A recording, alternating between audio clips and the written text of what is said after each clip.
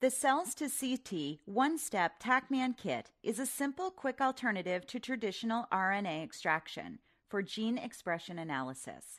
This video will show you how to get great QRT PCR results in a fraction of the time.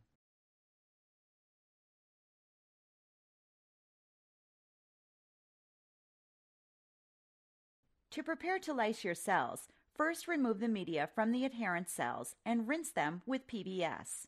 Then aspirate the PBS and add 50 microliters of lysis solution per well. If you're using larger culture vessels, reference the manual for details.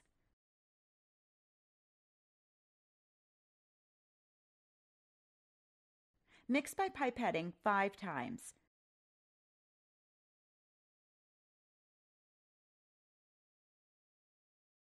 Let stand for five minutes at room temperature.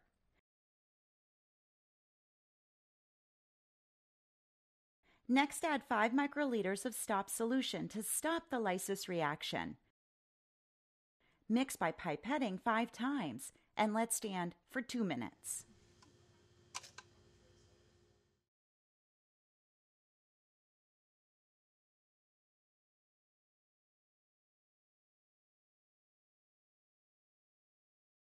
Your sample is now ready for QRT PCR. Combine the QRT PCR master mix included in your Cells to CT one step TaqMan kit, along with TaqMan gene expression assay for your gene of interest and lysate.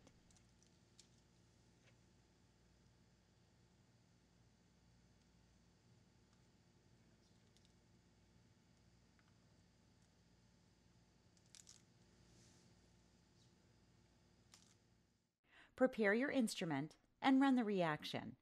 The QRT PCR Master Mix is fast cycling compatible, allowing results to be obtained in about 45 minutes.